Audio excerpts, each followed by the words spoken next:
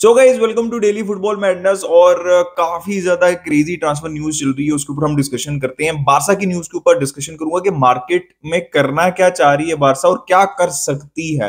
काफ़ी ज़्यादा interesting news आ रही है, लेकिन सबसे पहले हम शुरू करते हैं पलीना की न्यूज़ से टू बायन म्यूनिक देखें वेरी क्लोज है और आई थिंक ये डील इवेंचुअली हो जाएगी। आपको पता है कि पिछले साल भी पलीना जो है, वो टारगेट थे बायन म्यूनिक का और उनको डीएम चाहिए बिकॉज़ गुरेत्सका का कुछ समझ नहीं लग रही और केमिक की भी कुछ समझ नहीं लग रही कि वो रुकेंगे या नहीं रुकेंगे, क्योंकि एक साल का कॉन्ट्रैक्ट है और बाइन के लिए काफ़ी ज़्यादा डिसीज़न उन्होंने लेने हैं। Palhinha would be a very good signing उसके बाद केमिक का उन्होंने सोचना है, उसके बाद इवन अल्फोंसो डेविस का सोचना है। कभी न्यूज़ आती है कि is very close to Real Madrid और फिर कभी ये भी न्यूज़ आती है कि he is ready to extend या फिर is close to extending right now फिर साने के बारे में जो है वो चीज़ें सॉर्ट आउट करनी है। बाइन ने डेलिक्ट के फ्यूचर के बारे में चीज़ें सॉर्ट आउट करनी है तो काफ़ी चीज़ें, लेकिन सबसे अच्छी न्यूज़ अभी बाइन के लिए है कि एक डीएम उनको चाहिए था प्रॉपर डीएम चाहिए और that is Palhinha for Bayern Munich अब आ जाते हैं थोड़ी सी रियल मेडिट की न्यूज़ के ऊपर। देखें ट्रांसफ़र मार्केट के अंदर कोई न्यूज़ चल नहीं रही, ठीक है? जैसे मैंने आपको अल्फोंसो डेविस का बताया यूरो की न्यूज़ भी जो है वो आजकल ठंडी हुई भी है, लेकिन एक थोड़ी सी कंट्रोवर्सी हो गई भाई आज के एक उन्होंने इंटरव्यू दिया, क्या नाम है अंचलोटी ने उसके अंदर ये इंटरप्रेट किया गया कि उन्होंने कहा कि भाई 20 मिलियन तो पूरे टूर्नामेंट के मिल रहे हैं 20 मिलियन तो रियल मेड्रिड को एक मैच के कमाने चाहिए तो रियल मेड्रिड जो है वो पार्टिसिपेट नहीं करेगी फीफा क्लब वर्ल्ड कप में जो आगे हो रहा है। उसके बाद फॉरन आई वाज पर्सनली शॉक के भाई ये क्या है, ये कोई सुपर लीग से कनेक्टेड है, क्या चीज़ है, ये क्या हो रहा है भाई? फिर आर्सल फैंस खुश हो रहे हैं, अब वो अलग खुश हो रहे हैं कि शायद उनको स्पॉट मिल जाएगी। कोई इस तरह की न्यूज़ चल रही थी ना कि आर्सेनल को स्पॉट मिल जाएगी। खैर, ऐसा नहीं होने वाला। फिर फ़ौरन ही जो है वो रियाल मेड्रिड ने स्टेटमेंट रिलीज़ की और उन्होंने कहा कि नहीं भाई, ऐसा कुछ नहीं है। We are really looking forward to Real Madrid जो है वो फीफा क्लब वर्ल्ड कप के अंदर पार्टिसिपेट करेगी, ठीक है? और बाद में एंचलॉटी ने भी बोला कि भाई उनके जो इंटरव्यू है, उसको मिस इंटरप्रेट किया गया। ट्रांसलेशन हो सकता है, ऊपर नीचे हो गई है वॉट ऑब्वियसली मैंने एग्जैक्ट इंटरव्यू तो अब उनका नहीं सुना या एग्जैक्ट ट्रांसलेशन तो नहीं देखी, लेकिन कुछ ना कुछ जो है, वो कंफ्यूजन हुई थी। यार ये न्यूज़ थी। उसके अलावा पेप भाई पेप ने कह दिया, भाई, जो दरवाजे जो है, वो बंद है। ठीक है? बैक टू बार्सोना उनसे स्ट्रेट फॉरवर्ड क्वेश्चन पूछा गया। देखिए, मुझे ना देखिए, उन्होंने एक क्वेश्चन पूछा गया उन्होंने ऑनेस्टली आंसर दे दिया जो उनको इस टाइम लगा। तो ऑपोजिशन फैंस इस चीज़ को थोड़ा सा ट्रॉल कर रहे हैं। देखा जिडान जो था, वो जब उसको बुलाया था दोबारा तो वो आ गया था। और फिर बारसा फैंस भी थोड़े से नाखुश हैं कि भाई, ये क्या कह रहा है यार पेप इसको तो आना चाहिए। तो हमारे प्यो का माल है कि जिस टाइम हम बुलाएँगे, आ जाएँगे। भाई, ऐसा नहीं होता यार फुटबॉल के अंदर। भाई, वो बंदे को मतलब तेरह साल हो गए आई थिंक बारसा छोड़े हुए। उसने बायन के को मैनेज किया है, वो वहाँ पे उसने टाइटल जिताए हैं सिटी को उसे चैंपियंस लीग जिताई है मतलब कितने उसने जो है वो प्रीमियर लीग टाइटल जिता दिए सब कुछ जिता दिया सिटी को उसने। भाई, एक माइंडसेट होता है। अब हो सकता है कि उसका ना हो माइंड दोबारा बारसा में जाने का और वो स्पेशली सिचुएशन में जाने का। ठीक है, हो सकता है कि वो कुछ इंटरनेशनल फुटबॉल का सोच रहा हो। हो सकता है वो क्लॉप की तरह ब्रेक लेने का सोच रहा हो फुटबॉल से। बस ही हैज़ अचीव्ड एवरीथिंग तो मुझे समझ नहीं लग रही कि बारसा फैंस इतना ज़्यादा जज्बाती इसके ऊपर क्यों हो रहे हैं कि भाई उसने कह दिया कि मैं मैं डोज आर क्लोज्ड हमें रिस्पेक्ट करनी चाहिए भाई। आप क्यों जलील कराना चाहते हैं। अच्छा खासा उसका कैरियर जा रहा है, ठीक है? देखिए, दो तरह की चीज़ें होती हैं। या तो जब आप टॉप पे होते हैं ना, तब आप छोड़ दें। चाहे वो आप फुटबॉलर हो, चाहे आप मैनेजर हो। तो मुझे ऐसा शायद लगता है कि शायद पेप जो है, वो टॉप के ऊपर छोड़ना चाहते हैं। या छोड़ेंगे। देखिए जोजे मिरीनो एक टाइम के ऊपर टॉप टॉप मैनेजर थे। उसके बाद उन्होंने क्या किया कि जब उनसे चेल्सी की स्पेशली जॉब गई थी ना, उसके बाद उन्होंने वेट नहीं किया। वो थोड़ा सा वेट करते इवेंचुअली अपॉर्चुनिटी को ग्रैब करते, फिर इवेंट टू मैनचेस्टर यूनाइटेड फिर वहाँ से भी, उसके बाद भी उन्होंने वेट किया। उस पर्स चले गए, उसके बाद भी वेट नहीं किया, उसके बाद वो रोमा चले गए और अब मतलब टर्की लीग के अंदर वो चले गए हैं। तो वो चीज़ें बहुत खराब हो सकती हैं इफ़ यू डोंट मतलब अगर आप स्टेप बाय स्टेप ठीक ना सोचें या फिर आप एज अ प्लेयर भी मैं कहता हूँ एज अ मैनेजर भी कहता हूँ, अगर आप टॉप पे फिनिश ना करें तो चीज़ें वर्स हो सकती हैं आपके लिए, ठीक है? तो आई थिंक अगर वो ये सोच रही हैं तो इसमें कोई बुरी बात नहीं है। तो बारसा फैंस इतने जज्बाती ना हो। खैर, ये तो पेप वाली सिचुएशन में मैंने अपना ओपिनियन दे दिया। भाई, बारसा की न्यूज़ के ऊपर आ जाते हैं। सबसे पहले मैं लेफ़्ट विंगर के बारे में बात करता हूँ। देखिए, दो प्लेयर्स की न्यूज़ है। मैं आपको स्ट्रेटेजी बारसा की बता देता हूँ। क्या टारगेट्स हैं, क्या अचीवेबल है, किस सिचुएशन में अचीवेबल है। पहले मैं डिस्क्लेमर दे दूँ जितनी भी न्यूज़ है, बारसा कुछ किसी को ऑफ़र नहीं कर सकती। बारसा सर्जियो रोबोटो को भी अभी कॉन्ट्रैक्ट ऑफ़र नहीं कर सकती। ऑफ़र भेज ही नहीं सकती ऑफिशियल किसी भी प्लेयर को।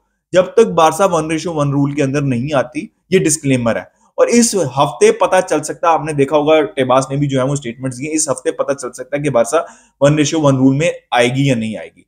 अगर बारसा आ जाती है या नहीं भी आती, उसके ये डिस्क्लेमर दे दिया, अब हम टारगेट्स के ऊपर बात करते हैं। देखिए लुइस डियास दो विंगर्स लेफ़्ट विंगर्स में दो विंगर्स की न्यूज़ आ रही है। एक लुइस डियास और दूसरे निको विलियम्स। देखिए लुइस डियास की मार्केट वैल्यू जो कोड हो रही है, वो सेवेंटी फाइव मिलियन यूरोज हो रही है। और निको विलियम्स का रिलीज़ लॉस आपको पता है फिफ्टी मिलियन का। तो ऑब्वियसली फाइनेंशियली जो ज़्यादा स्टेबल साइनिंग है, वो निको विलियम्स की है। लेकिन दोनों टारगेट है, दोनों रियलिस्टिक टारगेट है। मेरे, मैं ये नहीं कहूँगा कि एक फ़र्स्ट टारगेट है और कोई सेकंड टारगेट इसमें ऐसा नहीं है, ठीक है? दोनों टारगेट्स हैं बारसा के और काफ़ी ज़्यादा न्यूज़ आ रही है। अब देखते हैं कि बारसा अगर अगर फाइनेंशियल इश्यूज़ रहते हैं तो definitely Nico Williams is the choice अगर फाइनेंशियल इश्यूज़ नहीं रहते तो then Barca has to decide कि उनको एक्सपीरियंस ज़्यादा चाहिए या फिर उनको एक यंग प्लेयर ज़्यादा चाहिए जिसके पास पेस ज़्यादा। है तो ये एक टेक्निकल डिसीज़न है जो कि लेना, जो इसमें इवेंचुअली हांसी फ्लिक की भी इनपुट होनी चाहिए डेफिनेटली और आई थिंक डेको की भी इनपुट होगी। तो ये दो चॉइसेस हैं। अब इसके अलावा जॉ फिलिक्स की न्यूज़ चल रही है। मैं लेफ़्ट विंग को ही पहले कवर कर लेता हूँ बिकॉज़ जॉ फिलिक्स को मैं लेफ़्ट विंगर ही देख रहा हूँ ना, ठीक है? अगर निको विलियम्स लुइस डियाज के ऊपर अगर हम जा रहे हैं तो आप लेफ़्ट विंगर के बारे में ही सोच रहे हैं ना। तो Joao Felix as per news Atletico Madrid want 60 million तो घंटा भी मेरा 60 मिलियन तो नहीं देना चाहिए, ठीक है? भाई, आपने मैंने, आप प्लीज़ एजेंट्स को खुद खुश मत करें। Joao Felix is not a Hansi Flick type of player is not a winger he likes to play with a striker we will not play in that system तो बारसा की strategy ये simple सी है कि ये main targets हैं। अगर कुछ नहीं होता तो बारसा लोन की ट्राई करेगी सिक्सटी मिलियन तो कभी भी नहीं देगी। कैंसेलो का केस भी सेम है कि बारसा लोन की ट्राई करेगी, मुझे नहीं लगता बारसा अपफ्रंट फ़ीस देने वाली है। और पेप ने भी आज स्टेटमेंट दी है कि we have to find a solution तो बारसा की दोनों के बारे में स्ट्रेटेजी ये है कैंसेलो जॉब फिलिक्स के लोन हो जाए, बहुत अच्छी बात है वर्स्ट पॉसिबल सिचुएशन के अंदर हम ये स्ट्रेटेजी रखते हैं कि अगर ये नहीं हमारे पास विंगर्स आते तो कोई तो प्लेयर चाहिए ना स्क्वाड डेप के लिए तो फिर हम इनको लोन के ऊपर रख लेंगे। आँसू फाटी प्री सीज़न हो सकता है करें बारसा के साथ बट बारसा कोशिश कर रही है कि उनको लोन पे भी लेवर कुशन की उनको न्यूज़ आई थी 10 15 20 मिलियन यूरोज में। अब देखना है बारसा उनको लोन पे भेजना चाहती है, उनको बेचना चाहती है, लेकिन बारसा उनको रखना नहीं फ़िलहाल चाहती। ठीक है? ये भी न्यूज़ आई। तो ये लेफ़्ट विंग की मैंने आपको स्ट्रेटेजी समझा दिया। अब हम आते हैं डीएम के ऊपर। देखिए डीएम की अच्छा डीएम से पहले हम फ्रेम पॉन्ग के ऊपर आ जाते हैं। अभी रिसेंटली बहुत न्यूज़ आ रही है फ्रेम पॉन्ग की, ठीक है? और ये नाम as per reports Hansi Flick ने टेबल के ऊपर रखा है। एक और नाम भी रखा है, उसके ऊपर हम अभी बात करते हैं। देखिए फ्रेम पॉन्ग क्या रिक्वायरमेंट है? आई डोंट थिंक सो आपके पास जूलियन अराउ है हेटर फोर्ट है, उस साइड पे खेल सकते हैं। कुंडे ऑलरेडी खेलते हैं आपके राइट सेंटर बैक या राइट बैक आप राइट कम, वो स्लैश सेंटर बैक आप कह सकते हैं। तो Frimpong is a wing back ठीक है? क्या आपको विंग बैक की ज़रूरत है? अगर आप लमीन यमाल के साथ उसको लेके आना चाह रहे हैं तो वेल एंड गुड लेकिन क्या वो आपकी प्रायोरिटी है? अब प्राइस टैग कोट नहीं हो रही है कितनी है, ठीक है? तो क्या वो आपकी प्रायोरिटी है? हाँ अगर आपकी ये स्ट्रेटेजी आपके माइंड के ऊपर कि हम कंसेलो को रखने के बजाय हम फ्रेम पॉन्ग को रख लें, ठीक है? हम, देखें कंसेलो भी एक एडवांस प्लेयर है ना डिफेंसिव प्लेयर तो नहीं है, वो भी विंग बैक ही है, एक तरह के जो अच्छी, सबसे अच्छी फुटबॉल वो खेलते हैं, वो विंग बैक रोल के अंदर ही खेलते हैं। वो फुल बैक रोल के अंदर तो नहीं खेलते। तो अगर आपकी स्ट्रेटेजी है कि हम कंसेलो को नहीं रखना चाह रहे, हम फ्रेम पॉक को रखना चाह रहे हैं, तब तो मुझे आपकी स्ट्रेटेजी समझ आ रही है, ठीक है? लेकिन अगर कंसेलो के ऊपर it does not make any sense फिर आपकी बिल्कुल भी प्रायोरिटी नहीं होने चाहिए फ्रेम पॉन्ग तो if not Cancelo then I think it it is understandable Frimpong बहुत अच्छे प्लेयर है विंग बैक रोल के अंदर, और ऑब्वियसली उस राइट साइड के ऊपर खेल सकते हैं, और इलमीन यमाल को भी सपोर्ट मिल सकती है. इवन रेस्ट भी मिल सकता है right he can also play as a winger तो मुझे वो स्ट्रेटेजी समझ लगती है इफ़ नॉट कंसेलो अब आ जाते हैं डीएम पोजीशन पे. देखें, अभी न्यूज़ क्या है? अराहो और फ्रेंकी की न्यूज़ ये है. अराहो का भी कॉन्ट्रैक्ट का वेट साइन करने का हो रहा है। फ्रेंकी का भी वेट हो रहा है। आई थिंक यूरोज और कोपा मैर के बाद ही डिसाइड होगा। अगर तो वो एक्सटेंड कर लेते हैं तो well and good they will stay otherwise they will put on the market अभी मैं ये कंसिडर कर रहा हूँ Frenkie de Jong will sign तो we need a player who can play with Frenkie de Jong ठीक है? गिडो रोड्रिगस की जो साइनिंग है, वो रूल आउट हो चुकी हुई है। उसमें हांसिफ्लिक का भी रोल होता है और फाइनेंशियल फेयर प्ले का भी रोल है बिकॉज़ बारसा कुछ ऑफ़र सेंड ही नहीं कर सकती, ठीक है? डेडलाइन पास हो गई थी, जो कमिट की हुई थी। सर्जियो रोबोटो का भी यही केस है कि बारसा कुछ कमिट नहीं कर सकती, अब सर्जियो रोबोटो रुकते हैं नहीं।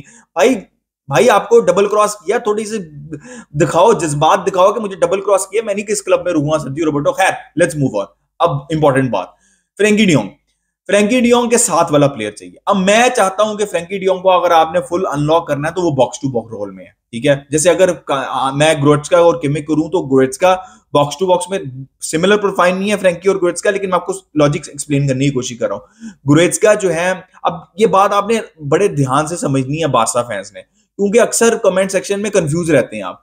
तो हमें चाहिए बॉक्स टू बॉक्स फ्रेंकी उसके साथ हमें एक प्लेयर चाहिए जो स्टे कर सके, जैसे किमिक करते थे और ग्रिड्स का बॉक्स टू बॉक्स रहते थे। इसलिए मैं अक्सर कहता हूँ कि जुबमेंडी पहली चॉइस पॉसिबल नहीं लबॉट का सेकंड चॉइस पॉसिबल नहीं। Third choice is Kimmich because he use to stay at Bayern right तो आप कहीं ना कहीं वो फ्रेंकी को वो फ्रीडम मिल सकता है। तो मेरी जो पहली प्रायोरिटी है, और आई थिंक बारसा की भी एज पर रिपोर्ट जो पहली प्रायोरिटी है, वो किमिक ही है, ठीक है? वो किमिक ही है, ठीक है?